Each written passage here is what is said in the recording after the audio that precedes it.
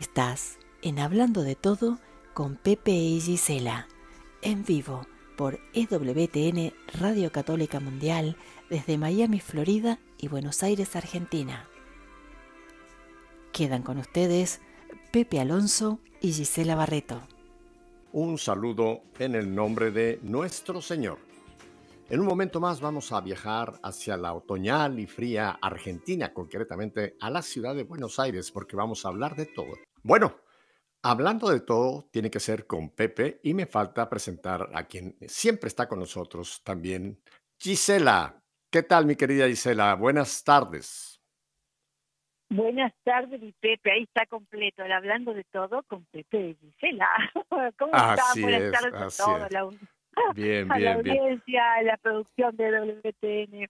Tú estás con tormenta, yo estoy con frío, Pepe. Tú en Miami con tormenta y acá con mucho frío en Buenos Aires. Sí, porque nosotros estamos por entrar al verano, eh, eh, ustedes están por entrar al invierno, o sea que por eso tenemos climas tan eh, diferentes, en, aún, aún en el mismo día. Pues estamos en cierta forma en un sándwich. Este domingo pasado tuvimos la gran, gran, gran solemnidad Pentecostés que por cierto cerramos con esa gran solemnidad el año, la parte del año, digamos, la fiesta de Pascua, y estamos ahora eh, navegando ya hasta el Adviento en lo que llamamos tiempo ordinario, pero este domingo tendremos otra gran solemnidad, que es la Santísima Trinidad, de la cual vamos a hablar. Mm. Pero me alguien me envió una oración al Espíritu Santo eh, lindísima que yo quisiera que la hiciéramos. ¿Qué te parece como nuestra oración en esta tarde de viernes? Sí, Pepe, te sigo. De jueves, perdón, ¿qué me pasa? Estoy ya, ves, moviéndome un día adelante. de jueves. Pero mira, esta la compuso un cardenal francés, el cardenal Verdier. Y la voy a hacer y les pido a todos que la hagan con nosotros. Oh Espíritu Santo, amor del Padre y del Hijo, inspírame siempre lo que debo pensar, lo que debo decir, cómo debo decirlo, lo que debo callar cómo debo actuar, lo que debo hacer para gloria de Dios, bien de las almas y mi propia santificación. Espíritu Santo, dame agudeza para entender, capacidad para retener, método y facultad para aprender, sutileza para interpretar, gracia y eficacia para hablar. Dame acierto al empezar dirección al progresar y perfección al acabar. Amén. ¿Qué te parece esta oración al Espíritu Santo del Cardenal Verdier, Gisela? Una oración que tendríamos que decirla cada mañana, cada tarde y cada noche, porque es, es una guía espiritual para uno poder no hacer cada cosa, hablar y todo lo que tenemos que hacer durante el día. Me parece hermosísima, Pepe. Y tú que estás hablando de, estamos hablando, ¿no? Del Espíritu Santo y esta oración maravillosa. Hoy se celebra San Efrén, Pepe querido, diácono de Siria. El gran diácono. Sí, y, San Efrén era llamado la cítara del Espíritu Santo, este poeta, ¿no? Era llamado la cítara del Espíritu Santo. Así que bueno, pidámosle a, San Efren en el día de hoy que, que ponga cada día más claro y que ponga cada día más fina nuestra percepción eh, en cuanto al don de Dios, para que nosotros también podamos, a través de nuestras oraciones y de cómo nos dirigimos a Dios, que sea una oración sencilla y casera, como cada uno de nosotros, pero que nos dirigamos hacia el Señor, ¿no? Así es, Gisela el Espíritu Santo ha estado. El Espíritu Santo ha estado en la iglesia, pues Pentecostés se llama, que es el nacimiento de la iglesia, porque fue ese momento donde los apóstoles, en compañía de María, María estaba ya llena del Espíritu Santo, por supuesto, pero los apóstoles en ese aposento alto eh, tienen esa experiencia, eh, se les posan esas lenguas como de fuego sobre sus cabezas, empiezan a hablar en todas las lenguas eh, que se conocían en ese momento, pero la iglesia siempre ha reconocido como que ese es el momento del nacimiento de la iglesia, porque a partir de ese momento es cuando se va a cumplir la misión. El Señor ya ha ascendido y ha cumplido la promesa, les enviaré el Espíritu Santo y ese día se cumple Pentecostés. Pero Es interesante porque el Espíritu Santo ha estado por todos estos 21 siglos eh, dentro de, la iglesia, por supuesto, en las buenas y en las malas, en las, en las duras y en las maduras, etcétera. Pero hay un momento, creo que valdría recordar, Gisela, que fue el siglo pasado, el siglo XX, del cual tú y yo somos ah, hijos, y no es porque seamos muy mayores, es porque todo el que tenga menos de 20, menos de 22 años, pues es del siglo, que tenga más, perdón, de 22 años, es del siglo pasado. Pero en fin, eh, fue con nuestro gran San Juan 23. Cuentan que una tarde estaba en su habitación pontificia y su secretario le estaba dando una especie de informe de ciertos problemas que ya se veían muy, muy fuertes dentro del mundo y dentro de la iglesia. Y dicen que eh, el Papa Bono, el Papa San Juan 23, fue así una de esas ventanas que dan hacia la plaza de San Pedro y que se ve Roma desde ahí, y abrió, abrió esas ventanas y dicen que entró ese como un viento de la tarde que movió las cortinas y él se quedó viendo así como al horizonte y le dijo a su secretario, esto es lo que tenemos que hacer, abrir las puertas de la iglesia al viento fresco del Espíritu Santo. Fíjate qué, qué momento. Y dicen que a partir de ese momento fue cuando él tuvo la inspiración de convocar el Gran Concilio Vaticano II, al cual él le tocó abrir y que ese concilio marca realmente un ayer y un después en, la iglesia, digamos, de los tiempos modernos. ¿Tú sabías ese detalle de, esta inspiración que tuvo San Juan, San Juan 23 en abrir las puertas frescas a este viento, a este soplo del Espíritu Santo, Gisela? Mira, no, la verdad, te estoy escuchando a ti, pero qué bien, ¿no?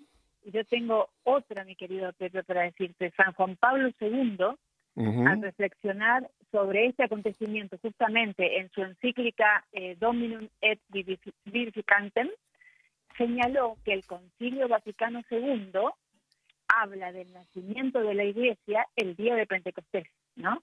Tal acontecimiento, dice él, constituye la manifestación definitiva de lo que es eh, de lo que se había realizado en el mismo cenáculo aquel domingo de Pascua. Cristo resucitado que vino y trajo a los apóstoles el Espíritu Santo y, se los dio, ¿no? Recibir el Espíritu Santo. El Espíritu Santo es maravilloso, es fundamental en nuestras vidas, es quien impulsa a la iglesia. De hecho, el día de Pentecostés también es el cumpleaños de la iglesia.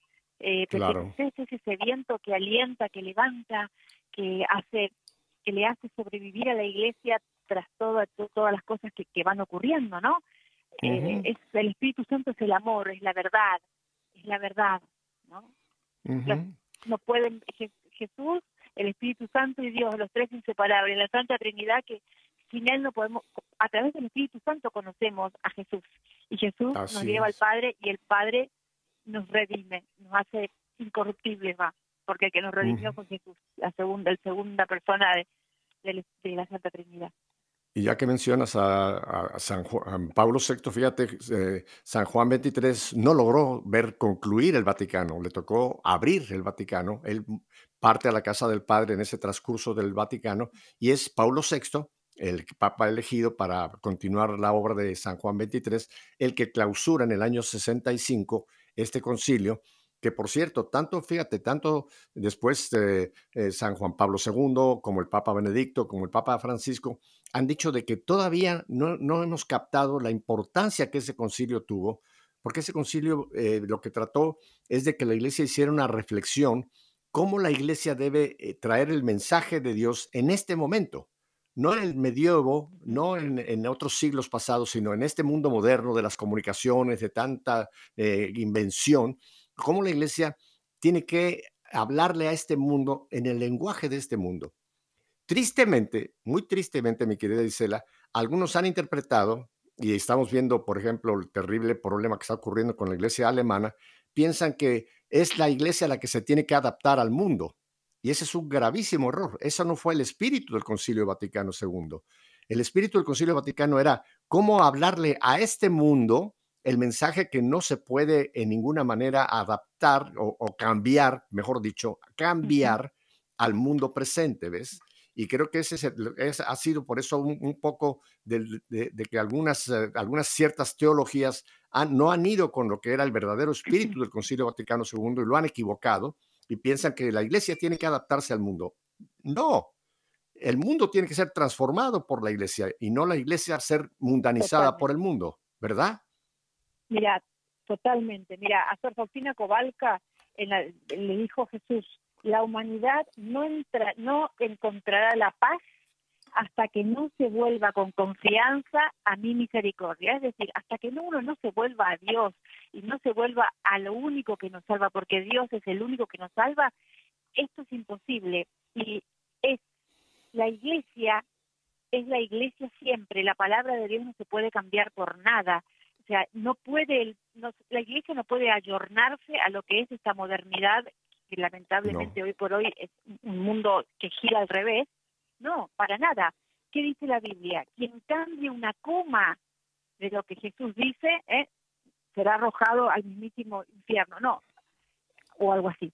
Esto es así, la palabra de Dios es, fue y será la misma siempre. Los mandamientos no se cambian, la palabra de Dios no se cambia, nada de eso se cambia. O sea, no es que eh, da igual los mandamientos o se pueden ayornar. No, no, no, no, no, no, no. Nadie, nadie nadie puede cambiar la palabra de Dios. Ni un santo, ni un ángel, y mucho menos un humano, ¿no? Así que para nada.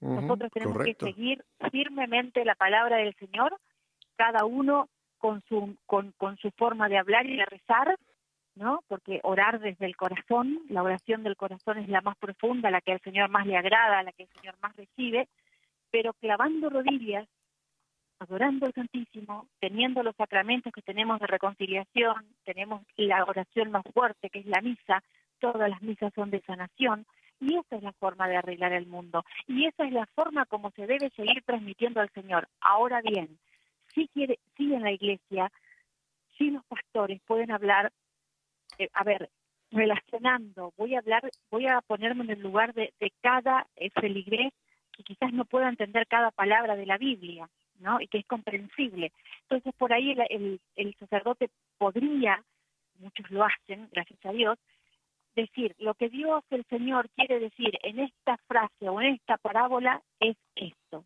¿no? Explicar, asociar la Biblia a nuestra vida humana. Eso sí, pero la, la vida humana tiene que seguir la rectitud y el orden que nos enseña la palabra de Dios en la Santa Biblia, porque teniendo orden podemos tener paz. Sin orden no hay paz. Y hoy el mundo no tiene paz porque no sigue la palabra de Dios, porque lo, Mira, eso porque no le lo dan. No sigue, termina, termina tu frase, te, voy a hacer un comentario, sí. Sí, que no, que eso, que lamentablemente han hecho de lado a, Jesús, entonces al estar tan aturdidos con lo que el mundo propone, no escuchan lo que Jesús habla, eh, es, lo que el Espíritu Santo habla al corazón, te está soplando, te está hablando y no grita. El ser humano de hoy no escucha, escucha los gritos del mundo, que son muchos, ¿no? El querer, poder, tener, el dinero, la ambición, y bueno, que no tiene sentido.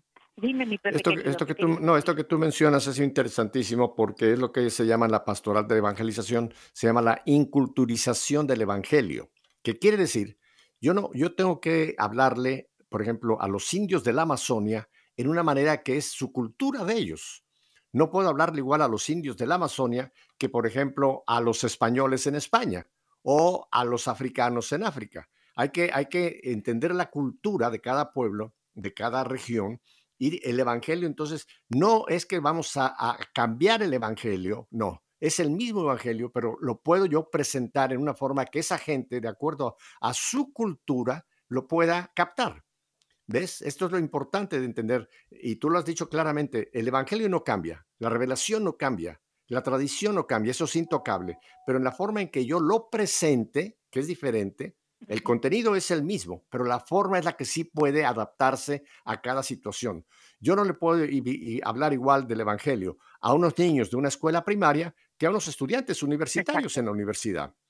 Pero, pero el mensaje es el mismo. Ahora aquí viene la habilidad del evangelizador en saber cómo lo presenta a esta situación concreta en la cual en este momento yo me estoy enfrentando, ¿verdad?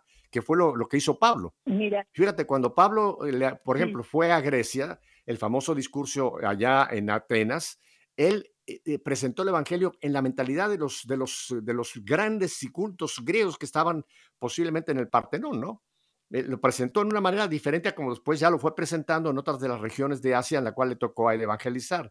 Y esto es lo que muchos evangelizadores no captan, que yo tengo que tener esa habilidad. Y aquí viene la obra del Espíritu Santo, Gisela, que obra a través del evangelizador. Si el evangelizador le deja al Espíritu Santo lo que hemos eh, leído en la oración del cardenal Verdier, enséñame qué debo decir, cómo lo debo decir. Ese es el, el gran trabajo del Espíritu Santo, Gisela. Eh, exactamente. ¿Qué dijo en, en, en, la Biblia nuestro Señor? No se preocupen de lo que van a decir. El Espíritu Santo os, os, soplará, os dirá, ¿no? Si uno está entregado a Dios. Por eso, a ver, la, la, la riqueza del mundo, Pepe, se llama Dios, pero la riqueza en todos los aspectos, en todo, primero espiritual, humano, espiritual y también monetario. Una vez me dijo una persona, el millonario del mundo es Dios, o sea, del mundo, del todo, del todo, del universo, de todo, es Dios. Y es así, entonces, si tenemos a Dios, no podemos desear nada más. Si uno tiene fe, para eso necesitamos al Espíritu Santo, que es quien nos alienta y nos lleva a la fe y nos acerca al Señor Jesucristo, a nuestro Señor Jesucristo, es pedir a Jesús. No andemos mendigando cosas. Y lo digo con todo el amor, ¿eh? Pedir a Jesús si vos tenés piecitos y si no podés caminar hasta la iglesia, arrodillate en tu casa frente a tu crucifijo y decirle, Señor mío, esto quiero para mi alma, esto necesito que me des para servirte mejor, esto, amor mío, cámbiame, porque necesito de esto para poder servirte y ser quien vos pensaste en esta tierra para vos, todo para Él, todo para su gloria. Y lo material que necesitemos también. Amor mío, Jesús, necesito esto, si es tu voluntad, toca a esa persona, toca a ese trabajo que tiene que ser para mí. Pero todo el pedido, lo que nos dirigimos, lo que agradecemos, lo que amamos, lo que hablamos, es a Jesús. Y Jesús tira los hilos para abajo, para el mundo terrenal en el cual vivimos. La gente, me incluyo yo antes, y al principio de este camino de conversión, uno trataba humanamente de hacer las cosas. Pero mis queridos oyentes y todos nosotros, y me hablo a mí misma de antes, la de antes, todo se logra con Jesús, todo tenemos con el Señor, Él no nos cobra nada y no nos pide nada más que que lo amemos y nos devuelve todo. O sea, es todo tan sencillo y todo tan fácil, hacemos la vida tan complicada, ¿no es cierto? Y Él nos regaló todo, vivimos del amor y nos da el amor. El primer mandamiento sobre los mandamientos, ama a Dios, amar a Dios sobre todas las cosas y a tu prójimo como a ti mismo. Hay ese, eso encierra todo el mandamiento y toda la ley de la vida misma. Eso hay que pedirle a Dios, porque hay momentos de sequedad en la vida, ¿no? Y, que uno pasa por aridez, y lo hablo en mi piel, o sea, pero porque no crean que uno está hablando por arriba de alguien. No, no, no. Somos humanos, somos pecadores, somos terrenales.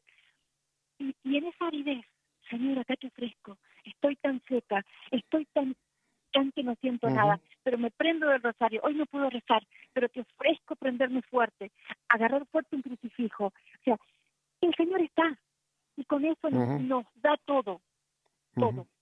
Mira, hay que, hay que, es muy lindo como lo estás presentando, pero hay que, hay que, vamos a entender bien eh, cómo trabaja eh, la Trinidad, porque cada uno, son tres personas para empezar. No es una paloma, un viejito y Jesús, no. Es Padre, persona Padre, Hijo, persona Hijo, Espíritu Santo, persona Hijo, persona, tercera persona de la Trinidad. Fíjate que ese texto que tú dijiste es, cuando venga el Espíritu, Él les enseñará, les revelará, Él será su paráclito. Yo le pido a Jesús, definitivamente, y Jesús va a responder. Pero ¿sabes quién es quien hace la respuesta? El Espíritu Santo. Es interesante ese texto porque cuando dice yo les enseñaré, eh, de Él les enseñará, Jesús no dice yo los enseñaré. Claro, hay que entender que es la Trinidad, o sea que donde opera el Padre, opera el Hijo y opera el Espíritu Santo. Donde opera el Hijo, opera el Padre y el Espíritu Santo. Donde opera el Espíritu Santo, opera el Padre y el Hijo. Ese es un misterio de, de unidad. Pero es interesante porque Jesús me dijo, Él es el que les va a enseñar, Él es el que les va a revelar. Entonces yo le pido a Jesús y Jesús me dice, ok, si esto te conviene, se te va a dar. Pero quien ya hace la obra propiamente, quien hace el trabajo en los fieles, es el Espíritu Santo. Por eso es que el Señor en Pentecostés le dije, espérense a que se cumpla la promesa del Padre. Fíjate, entonces serán mis testigos. Esto lo vamos a leer este texto cuando regresemos de unos breves mensajes, Gisela. Pero el Señor le dice, no se aparten de Jerusalén. Esperen a que se cumpla la promesa del Padre del que les hablé. Entonces serán mis testigos. Quiere decir que la obra ya de, vivir mi vida cristiana, la obra, de, la obra de vivir mi fe, la obra de lo que leímos en la oración del cardenal Verdier, qué tengo que decir, qué no tengo que decir, cuándo debo de actuar, cuándo debo de callar, cuándo... Es el Espíritu Santo. Y es por lo que sería interesante que ahora hablemos de cómo abrirnos a esa acción del Espíritu Santo, porque ya lo dijo San Juan 23, el Espíritu Santo, el gran desconocido. Gisela, vamos a unos brevísimos mensajes y volvemos porque este es un tema apasionante. Así que quédese con nosotros, no cambie de dial. Volvemos enseguida.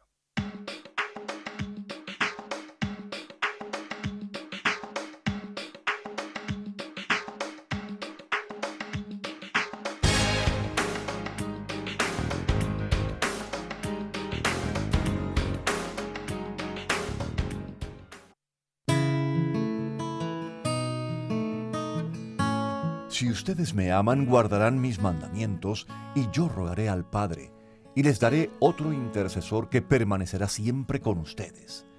Este es el Espíritu de verdad que el mundo no puede recibir porque no lo ve ni lo conoce. Pero ustedes lo conocen porque Él permanece con ustedes y estará en ustedes.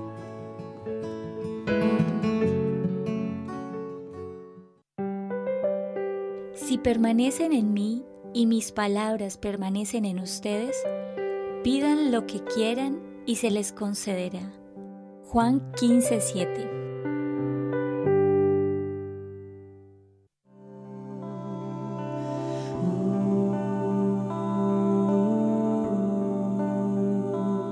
Sopla sobre mí, Espíritu Santo, para que todos mis pensamientos sean santos.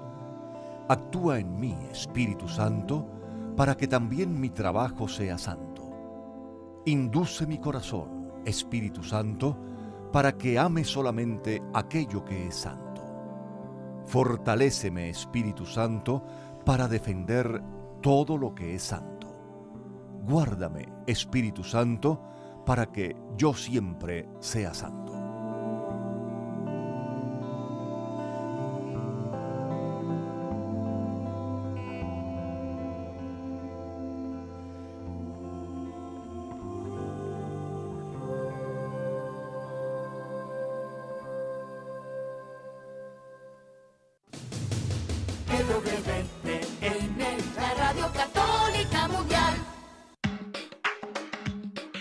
Gisela, hablando de todo, qué interesante esta última oración que escuchamos, ¿verdad? En este pequeño intermedio, pidiéndole al Espíritu Santo que haga la obra. Ajá. Pero mira, sería interesante que hagamos una aclaración. Lo he hecho yo en esta semana en varias otras eh, circunstancias.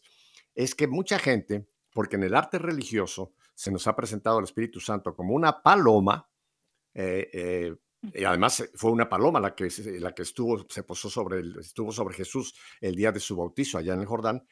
Y el arte religioso lo ha presentado. Eh, siempre nos presentan a la Trinidad, te repito, al Padre como un viejito, a Jesús con su cruz y al Espíritu Santo una paloma. El Espíritu Santo no es una paloma, hay que dejar clarísimo, es una persona. Es la tercera santísima persona de la Santísima Trinidad.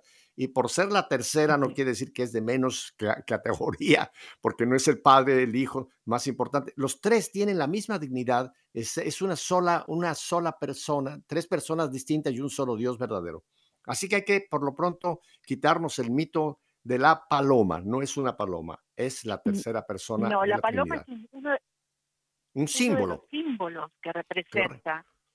Hay varios otros. el agua, el agua, e, el, fuego que se posó sobre los apóstoles.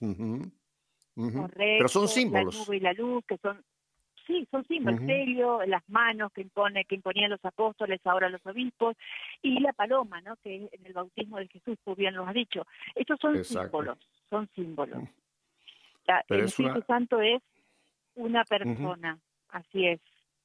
Una persona son tres personas en una, ¿no? Dios Padre, Hijo y Espíritu Santo, el Espíritu Santo es una de ellas y las tres son distintas, pero todas en una sola. Esto es, esto es maravilloso, es lo ¿Te acuerdas que hablábamos el otro día por teléfono cuando San Agustín iba caminando por la playa pensando cómo era, quería descifrar el misterio de la Santísima Trinidad y, ve un niñito haciendo un pocito, un hoyo en la arena, y con un jarrito iba y sacaba un poco de agua del mar y tiraba en el, en el pocito, en ese hoyito. Entonces San Agustín le pregunta, ¿qué haces niño? Y el niño le responde, quiero poner todo el agua del mar en este hoyo, en este pocito. Y San Agustín le dice, pero eso es imposible. Y el niño mira para arriba y le dice, es más eh, probable que yo pueda poner todo el agua del mar en este hoyo a que tú entiendas el misterio de la Santísima Trinidad. Y se fumó, era un ángel. es una maravilla, ¿no? Sí, sí, sí, sí. Es que esa palabra es importantísima, Gisela, eh, misterio. Quiere decir, es algo que sobrepasa la capacidad humana de entendimiento. Nadie, nadie, nadie, ni ninguno de los santos más santos, ni los grandes teólogos, San Agustín, Santo Tomás, etcétera, se han abrogado el, triunfo, es decir, yo ya puedo, ya, ya entiendo a la Santísima Trinidad, ya la, no, podemos barruntarla, es lo que sí se puede, podemos tener una idea de qué, cómo es la, pero es un misterio que sobrepasa, sobrepasa la capacidad humana de comprensión. Lo vamos a poder ver el día que entremos a la patria celestial. Ahí sí vamos, nos va a quedar revelado, vamos a poder contemplar a la Santísima Trinidad, pero eso, eso, repito, es un misterio. Así que por eso tenemos que tener mucho cuidado de no caer en ese gran error que nos ha alertado la Iglesia por tantos siglos y concretamente el Papa Francisco en esa famosa carta a Gaudium et Spes, el llamado a la santidad en el mundo actual, cuando dice que uno de los grandes riesgos es que caigamos en, ese, en esa, eh, digamos, eh, falsa idea de los gnósticos, los que creen que con su inteligencia, con su luz, con su gran capacidad van a poder entender las cosas de Dios. Si nosotros pudiéramos meter a Dios en nuestro cerebro, Gisela, ya no sería un Dios. y por eso luego se fabrica gente tantos dioses que sí los fabricamos a nuestro, a nuestro alcance, ¿no? Pero mira, la Santísima Trinidad... No, la única no tratemos de, nosotros poderla entender, dejémosla actuar en nosotros, que creo que ese es el papel que nos corresponde. Dime, Gisela. Hablando de, de, la Santísima Trinidad y del Paráclito, porque también es llamado el Paráclito, el Espíritu Santo, que la palabra viene del, del griego, ¿no? Parácletos, que literalmente significa aquel que es invocado y por tanto es nuestro abogado, es nuestro mediador, es el defensor, el consolador. Él viene a defender nuestro pecado. O sea, viene, ¿qué hace el abogado? Defiende a un culpable, ¿no? Bueno, acá el paráclito viene a defendernos a nosotros que somos culpables de nuestros pecados, que estamos heridos de muerte o de casi muerte. Bueno, él viene a tratar de salvarnos, de, de llevarnos a Jesús, a la redención, a que volvamos a la verdad, al camino correcto, ¿no? Y Jesús nos presenta al Espíritu Santo diciendo, recordemos en Juan 14, 16, Jesús dice, el Padre os dará otro paráclito, el abogado defensor que es aquel, ahí está, que poniéndose de parte no del culpable, eh, debido a sus pecados, nos defiende del castigo merecido y nos salva del peligro de perder nuestra vida y la salvación eterna, ¿no? O sea, la importancia del Espíritu Santo y gloria a Dios por la Santísima Trinidad esto es, es maravilloso, sinceramente. El espíritu de verdad, Pepe. Yo soy el camino, la verdad y la vida, ¿no? Afirmaba Jesús de sí mismo en Juan 14, 6 también, al prometer el Espíritu Santo que vendría en ese discurso, ¿te acordás de despedida con los apóstoles en la última cena? Y él dice que, que el Espíritu Santo vendrá después, pero será quien se quede después de su partida y, que va a mantener entre los discípulos la misma verdad que Jesús había anunciado. De hecho, el Espíritu Santo es la verdad que mantiene la iglesia y que nos mantiene a todos nosotros. Es, una maravilla, es una gracia enorme. Si nos ponemos a pensar, el Señor nos dejó todo, todas las armas para que uno camine y navegue esta vida tranquilos, ¿no? Mira cuántas cosas tenemos. Mira, eh, eh, en la palabra de Dios eh, tenemos dos grandes acciones del Espíritu Santo. Uno son los dones del Espíritu Santo, de los cuales vamos a, mencionarlos en un momento. El don es un regalo.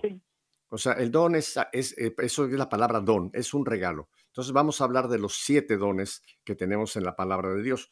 Pero yo quisiera que empezáramos por los frutos del Espíritu.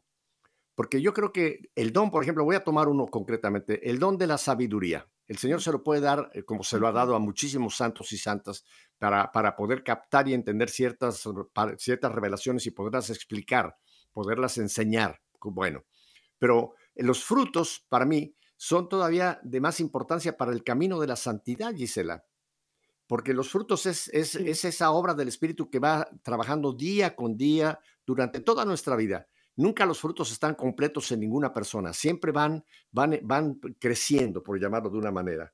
Y yo quisiera leerlo solamente para que la gente se dé cuenta de cuál debe ser quizá una de nuestras peticiones al Señor. Señor, que, dame los frutos de tu Espíritu, los frutos del Espíritu Santo. Mira, aquí van. Está en la carta de San Pablo a los Gálatas, capítulo 5, versículo 22. Por el contrario, el fruto del Espíritu es amor, alegría, paz, paciencia, amabilidad, bondad, fidelidad, modestia, dominio propio. Frente a estas cosas no hay ley que valga.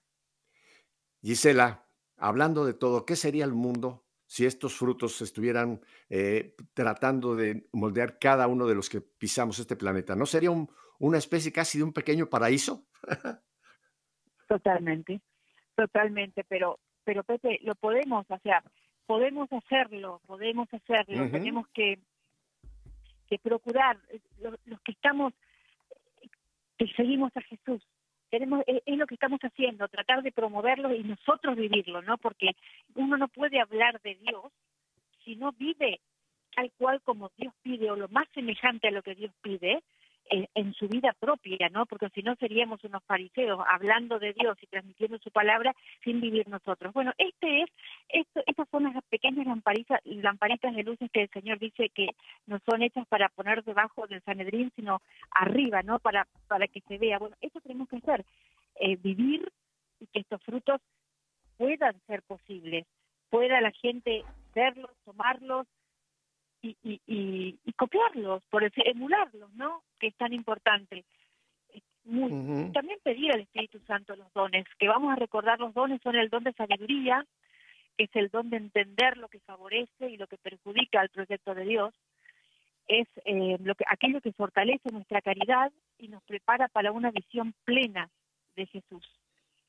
Mm. Tenemos el ese es el primer don. Luego el don de el en realidad la sabiduría es la verdadera sabiduría que trae el gusto de Dios, el gusto de Dios y de su palabra, que nos conduce a Él, ¿no? que, hace que, nos, que nos quedemos inmersos en esa vida hermosa de Él que transforma la nuestra y que hace que nuestra vida pueda tomar otro rumbo para el bien.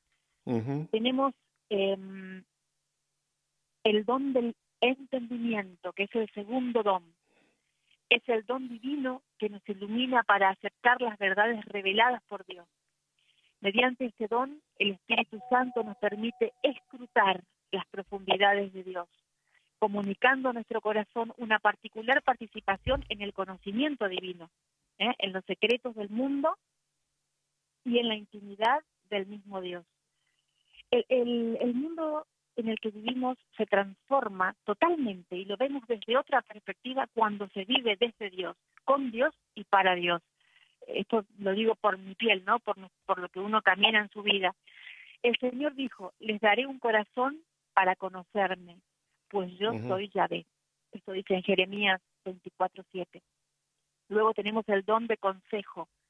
Es el don de saber discernir los caminos y las opciones de saber orientar y escuchar.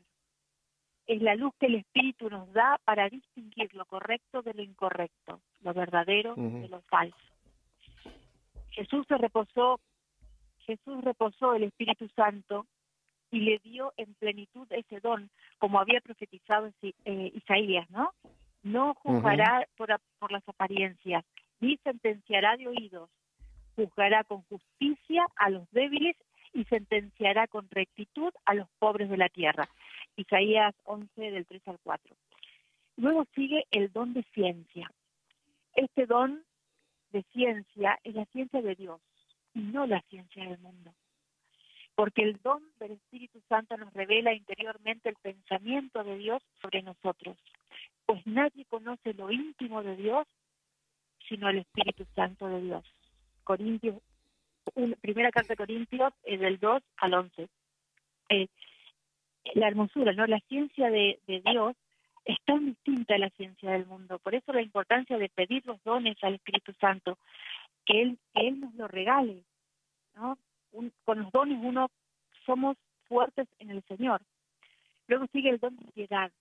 Es el don que el Espíritu Santo nos da para estar siempre abiertos a la voluntad de Dios, buscando siempre actuar como Jesús actuaría. Si Dios vive en la alianza con el hombre de una manera tan envolvente, el hombre a su vez se siente también invitado a ser piadoso con todos. Y es verdad, uno al sentir el amor de Dios, cómo el Señor nos devuelve tantas cosas, nos perdona, eh, nos da esos mimos, porque Dios da mimos también, da muchos mimos a, veces tan chiquititos, y uno cuando está en Jesús te das cuenta que es el Señor el que está. A ver, uno a veces se va a adorar al Santísimo Sacramento, y uno siente eh, en un momento la piel suave, suave, como si fuese la piel de un bebé. Ese es un mismo que Jesús te da, diciéndote, acá estoy. Todavía no me ves visualmente, pero mira, acá estoy y se hace sentir en la piel de uno, en una gran alegría que de, de repente te invade. Bueno, esa es la ciencia de Dios. Eso es como el Señor se manifiesta con estos pequeños regalos, ¿no? Luego sigue el don de piedad. Es el don que el Espíritu Santo nos da para estar siempre abiertos a la voluntad de Dios, buscando siempre cómo actuaría Jesús, ¿no? Entonces, eh, esto es maravilloso, maravilloso. El don de fortaleza, que es el sexto don, este es importantísimo, ¿eh? Este es el don que nos envuelve, que nos hace valientes para enfrentar en este tiempo, para enfrentar todas las dificultades del día a día de la vida cristiana. Vuelve fuerte e heroica la fe, reconoce el valor de los mártires y nos da perseverancia y firmeza en todas nuestras decisiones. ¿No? Y también estar perseverantes hasta el último momento en el Señor. No sabemos, como estamos ahora con las masacres que hubo en Nigeria, por ejemplo, de los cristianos, no sabemos cuándo nos toca a nosotros. A mí, por ejemplo, me han censurado mi canal anoche, mi canal de YouTube, hasta el viernes que viene. O sea, cualquier cosa que publiques que a ellos, al nuevo orden mundial, no les guste, ya sea la palabra del Señor, ya sea cosas que te lleven al bien, y te bajan. Esta es la censura. Pues acá tenemos que mantenernos con este don de fortaleza en Jesús, con Jesús y para Jesús, porque no sabemos a qué tenemos que atenernos, ¿no? Bueno, en el don de fortaleza, por ejemplo, en el Apocalipsis, dice, no temas por lo que vais a sufrir. El diablo va a meter a algunos de vosotros en la cárcel para que seáis tentados y sufriréis una tribulación de diez días mantente fiel hasta la muerte y te daré la corona de la vida. Apocalipsis 2, 10. Y el último don del Espíritu Santo es el don de temor de Dios, que no quiere decir que tengamos miedo a Dios, sino es este don que nos mantiene en el debido respeto frente a Dios y en la sumisión a su voluntad, apartándonos de todo lo que nos pueda, lo que pueda desagradar al Señor, ¿no? Por eso Jesús siempre tuvo cuidado de hacer en todo la voluntad del Padre. Como Isaías, Isaías había profetizado, si recordamos, en Isaías 11.2 dice, reposará sobre él el espíritu de Yahvé, espíritu de sabiduría e inteligencia, espíritu de consejo y fortaleza, espíritu de ciencia y de temor de Dios. Estos son los siete dones entonces del Espíritu Santo tan importante, sabiduría, entendimiento, consejo, ciencia, piedad, fortaleza y don del temor de Dios. Yo solamente añadiría, yo solamente añadiría al, de fortaleza, que fue el penúltimo que tocaste. Eh, si vemos eh, en, durante toda la historia de la iglesia, porque siempre ha habido mártires, pensamos que solamente fueron mártires en los primeros siglos de la iglesia con la persecución de Nerón. No, el siglo pasado y lo que llevamos de este siglo, Hemos tenido más mártires que en todos los 19 eh, siglos, 20 siglos anteriores. pero es importante porque tú dices que vienen tiempos de, y yo estoy totalmente de acuerdo contigo, que vienen tiempos muy difíciles para los que queremos llevar adelante el reino de Dios y para vivir realmente como cristianos. Y viene el tiempo de los mártires. Yo creo que vamos a ver mártires como los hubo en la cristiada, en esa persecución religiosa que el pueblo de México se levantó y que fueron miles y miles de hombres y mujeres también que salieron a defender su iglesia y muchos de ellos murieron mártires. Y ese es el momento en que la fortaleza nos va a, a, hacer presente esa realidad que Dios está conmigo. Me va a dar la fortaleza como el Padre Pro, ese famoso sacerdote que en sus últimos momentos le dicen, ¿qué, qué es eh, tu última, qué es lo último que quiere decir? Que yo les perdono a ustedes. Y ahí mismo diciendo, viva Cristo Rey, viva la Virgen de Guadalupe, fue acribillado. O sea, los, los dones son importantísimos, pero es importante saber que el don puede ir y venir. O sea, el Señor me puede dar el don de consejo en un momento, pero no quiere decir que yo, ya voy a partir de ese momento ser como el rey Salomón, que voy a tener ese don permanentemente. Los dones los da el Señor en el momento y en las circunstancias. Algunos son más percederos, algunos son más temporales. Pero, eh, sin embargo, lo que creo que tenemos que abrirnos también es la otra, la otra parte que hablamos, que son los frutos del Espíritu, porque ese es, la, ese es el camino de sí caminar día con día en este camino llamado a la santidad, Gisela. Así es, Pepe. Totalmente de acuerdo contigo, totalmente de acuerdo. Entregarnos también, Pepe, y, ampararnos muy fuertemente en el Sagrado Corazón de Jesús, ¿no? Que estamos en el mes del Sagrado Corazón de Jesús, que es junio. Eh, acurrucarnos ahí en ese Sagrado Corazón de Jesús, hacernos chiquititos y ponernos, eh, ir al Santísimo y decir, Señor, apoyo mi cabeza en tu corazón, ¿no? Y entregarse a Él, porque de ese Sagrado Corazón de Jesús, que está vivo, Pepe, no es, no es un icono, no es una imagen. El Sagrado Corazón de Jesús hoy late, hoy está vivo en la hostia que comulgamos cada día. Está el Sagrado Corazón de Jesús. Entonces, tenemos y es el amor puro de Jesús por el cual el cual fue traspasado y nos redimió y es donde nació la primera iglesia no ahí nace la iglesia del agua y de la sangre de Jesús ese corazón traspasado que los primeros cristianos ya adoraban bueno que luego se instituye la iglesia definitivamente con la venida del Espíritu Santo no pero pero te quiero decir hay ese corazón ir a Jesús toda nuestra riqueza está en el Señor cada cosa eh, estudiar a Jesús o sea, no perder el tiempo, y esto lo digo con, con, mucho cariño, no es peyorativamente. A veces mucha gente mira la tele, leo cosas insignificantes o pasajeras. No, hermanos, estamos en momentos terribles de la historia que hoy tenemos que el único proyecto y más importante proyecto que debemos tener en nuestra vida es salvar nuestras almas y este es el camino esta vida que vivimos hoy es el día de salvar nuestras almas el día a día no con lo que estamos diciendo con lo que vos hablaste Pepe los los dones del Espíritu Santo, los frutos del Espíritu Santo. Estar en Jesús, porque estar en Jesús, ¿qué hace? Nos hace fuente de vida. Jesús nos devuelve la vida. Mira vos cuando se le apareció a, a Santa Margarita María, de la, Coque, ¿no? Sí, o a Sor Faustina. ¿Qué le mostraba ahí? Siempre mostraba e, e, esa luz que salía del corazón, esas llamas que están alrededor del corazón, eh, siempre es amor y esa cruz. Él se, derramó en amor por, por los hombres y recibió eh, desprecios, ingratitudes. Bueno, esto es lo que sigue pasando hoy más que nunca. Pero no importa, los que estamos en Dios tenemos que ser más fuertes, no mirar lo feo, lo malo, lo que no, sino cuando vemos esto que, que decrece en el mundo por el pecado, nosotros tenemos que tomar más fuerza en Dios más y más fuerza, porque cuando más fuerza tomamos los que estamos en el Señor, vamos dándole más fuerza a aquellas personas que están débiles en Jesús, ¿no? Por ejemplo, en la adoración al Santísimo Sacramento del altar, Jesús está vivo, Jesús late. Recordemos que fue en, en la tercera aparición, creo que fue la tercera aparición, sí, a Santa Margarita de la Coque, cuando Jesús le muestra no, Jesús le da su corazón y el de ella va al de Jesús, ¿no? Eh, fueron por uh milésimas de segundo, pero imagínate vos que era una santaza. Y después a Santa a Sor Faustina, cuando está adorando el Santísimo Sacramento del altar, ve que de, la hostia, en la custodia, en la adoración al Santísimo Sacramento del altar, salía luz. Y esa luz que salía no es otra cosa que la gracia de nuestro Señor Jesús. Y Jesús le muestra que la gracia que Él emana de de su cuerpo vivo cuando está en el Santísimo Sacramento del altar. Esa gracia no solo queda en la persona adoradora, en la que está frente a él, sino que se expande. O sea, fíjate la importancia, yo soy adoradora, todos los adoradores somos una oración expansiva, ¿no? Por trascendencia del Señor, porque el Señor así lo dispone. O sea, fíjense la importancia de adorar, aunque sea una hora por día o lo que puedas en la semana, porque está siendo fuente de luz para la humanidad. Bueno, ahí tenemos que ir a eso. Cierto. A la Mira, hay una hay una riqueza tan grande en la iglesia y que tristemente muchos de los católicos no, no recurren a ella, que es todo el magisterio de la iglesia.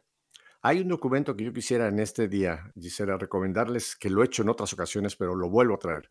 Es el documento del Papa Francisco, Gaudete et Exultate, el llamado a la santidad en el mundo actual. Ahí, ahí nos, nos da una claridad de que el camino para que yo pueda entrar realmente a ese gozo, a esa presencia de la Trinidad, que yo pueda llegar a esa plenitud que es eh, en la patria celestial, yo tengo que estar caminando buscando mi santidad día con día. Ahora, no es una santidad mística de que yo me tengo que recluir en un convento, en un monasterio. Eh, eh, no, algunos los llama a ese tipo de vida, pero claramente el llamado a la santidad es, como lo dice el documento, y fue la revelación que también tuvo muy temprano como sacerdote San José María Escribá de Balaguer, es en mi realidad, en mi realidad, el esposo como esposo, la esposa como esposa, el estudiante como estudiante, cada uno en el estado de vida que nos encontramos y en la edad que nos encontremos, ahí es donde el Señor quiere ir trabajando a través de la obra del Espíritu Santo en irnos santificando. Y esa santificación es un camino, no es un momento que viene la varita mágica y me toca y ya soy santo, no. Bueno, somos santos por, porque formamos parte del cuerpo de Cristo por nuestro bautizo, pero el llamado a la santidad quiere decir la santificación de todos mis actos, Gisela. Y ese documento nos muestra cómo realmente en cada situación yo debo de buscar qué puedo aquí, cómo debo actuar. Otra vez la oración del cardenal Verdier. ¿Qué debo decir? ¿Qué no debo decir? ¿Qué debo hacer? ¿Qué no debo de hacer? ¿Cómo debo hacerlo? ¿Cuándo debo hacerlo? Es la obra del Espíritu Santo. El que trabaja en este día con día para nuestra santificación es el Espíritu Santo, pero tenemos que estar abiertos a esto. Hay veces que buscamos oraciones muy complejas para hacer cada mañana si en la mañana solamente hiciéramos una breve oración, como tú decías, quizá esta del cardenal Bertier, decirle, Señor, aquí tengo un día más delante de mí. Ayúdame a vivir este día en santidad. Que cada acto, a partir de ahora que yo me levante, cada acto que yo haga en mi trabajo, en mi oficina, en la escuela, en la universidad, el ama de casa, el enfermo en el hospital, que cada una de mis acciones sea una acción en que yo permita al Espíritu Santo santificarme en esa acción. Ese es el camino, Gisela. Por eso yo les recomiendo, de verdad, ese documento me parece importantísimo en este momento para vivir realmente esta acción del Espíritu Santo y para poder realmente llegar un día a contemplar a la Santísima Trinidad, el, documento Gaudete et Exultate. Simplemente, o si no, búsquelo, la santidad en el mundo actual, llamado a la santidad en el mundo actual de Francisco. Gisela, en el par de minutitos que me quedan, ¿cuál sería tu último pensamiento? Que nos convirtamos en santos de zapatillas, en el santo de la actualidad. Y la mayor oración es cada, cada acto de tu vida. Cada acto de la vida puede ser una oración si cada acto en lo que nos movemos lo hacemos con amor. Y que consagrándonos al Inmaculado Corazón de María, somos llevados por la Virgen María al Sagrado Corazón de Jesús. Y que sí podemos vivir unidos al corazón de Jesús si vivimos en gracia. Si vivimos en gracia, podemos unirnos al corazón de Jesús, definitivamente. Y que hay una dupla maravillosa que hizo la Iglesia, ¿no? Que celebra junio el Sagrado Corazón de Jesús y julio la, santísima y preciosa sangre de Jesús. Y como dijo un santo sacerdote, creo que esta dupla, dijo él, está hecha para salvar almas y para que los corazones vuelvan a Jesús. Pero este corazón de Jesús no hubiese existido sin el Inmaculado Corazón de María.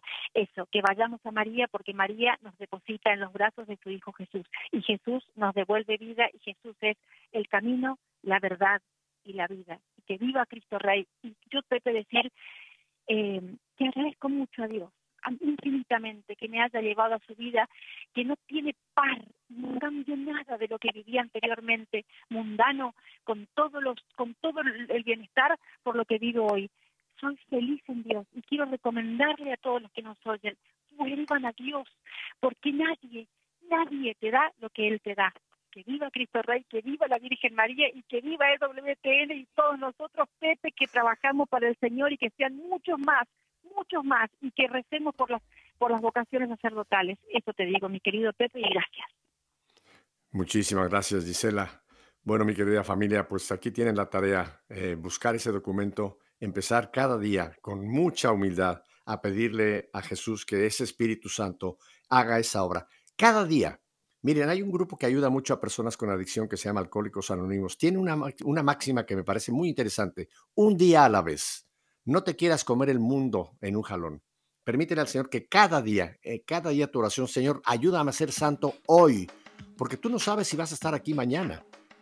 El pasado ya quedó atrás. Lo importante es que este día que tienes todavía le digas a, ese, a esa Trinidad, Padre, Hijo, Espíritu Santo, hagan su obra en mí. Bueno, pues volveremos a tener a Gisela el 23 de este mes para seguir hablando de todo. Pero mi familia, que tengan ustedes un muy, muy feliz fin de semana.